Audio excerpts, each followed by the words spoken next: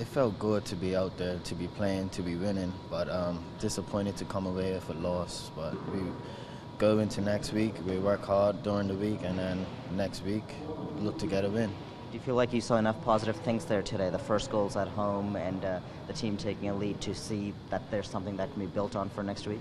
Yeah, yeah, we tried a new formation, so I think that could be uh, the key to our success. So I felt good in that formation. I'm sure everyone else did. So we just look forward to next week and, and working on the new formation during the week.